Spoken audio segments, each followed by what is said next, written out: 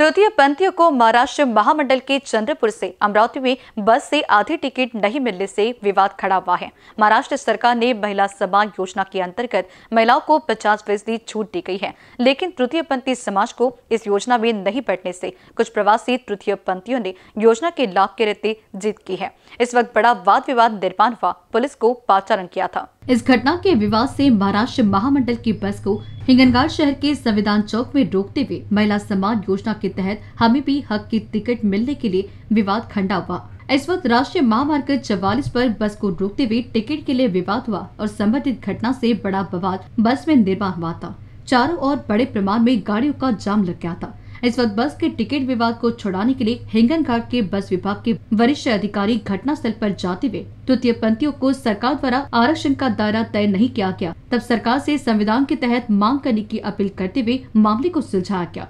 लेकिन महिला सम्मान योजना के तृतीय पंथी से भेदभाव किया गया। इस प्रकार की भावना वर्धा के लिए सफ़र करने वाले 10 से 12 प्रवासी तृतीय पंथियों ने की है।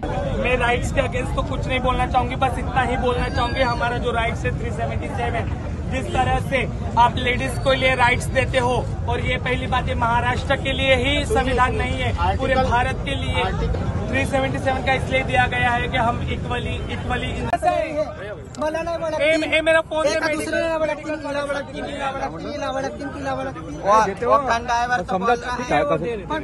हाँ? बस हमारा यही कहना है बस हमारा यही कहना है पुलिस प्रशासन से बस पुलिस प्रशासन से और एस टी महामंडल से यही कहना है। चलो बैठो। सुनो। बैठो चलो चलो।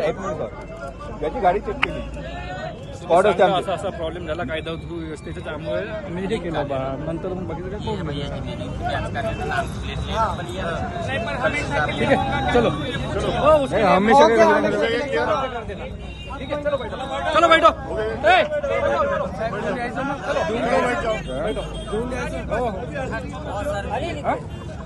हो सर जी हो सर जी मैं ना डेली यहाँ पर आना जाना करता हूँ। हेलो हमेशा उनका हमेशा का जो है ये समस्या एक बार नहीं होती ये समस्या बार बार होती है तो मैं क्या बोलना है अरे एक एक मिनिट सर। हॅलो हॅलो साहेब मी का म्हटलं यांचं म्हणणं आहे का आम्हाला लेडीज़ मध्ये तिकडे द्या. सांगा कसं करायचं? द्यायचं का नाही? सांगा.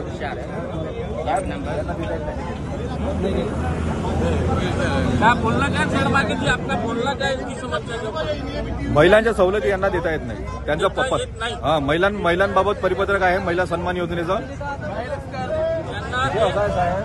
का हे आता नुकतंच होत झालं. आता हे मीडिया आली सगळे आले की होऊन जाईल पूर्ण आपली नोकरी घातली आहे, करणार आहे. देता येत नाही ना? हा. नाही नाही. महिला सन्मान योजनेचं परिपत्रक आहे. त्याच्यानुसार ज्या महिला आहेत त्यांना देता येतं अशी कोणती तरतूद केली नाही. नाही। बोलना है सरकार ने ऐसी कोई भी इस परियोजना में वो तरतूद नहीं रखी जिसके साथ में आपको फैसिलिटी है। आपका क्या हम ये कहना चाहते संविधान के थ्रू संविधान का पूरा पन्ना पढ़ लो संविधान में क्या लिखा है हमारे बारे में?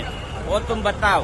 मैं संविधान के थ्रू चलो हम भी संविधान के साथ है। सरकार भी संविधान के थ्रू चलना चाहिए। इसको आले एक, माकन इसको बाप को नहीं करना चाहिए। एनबीसी न्यूज़ के लिए हिंगन घाट ऐसी रवि येरलकर की रिपोर्ट।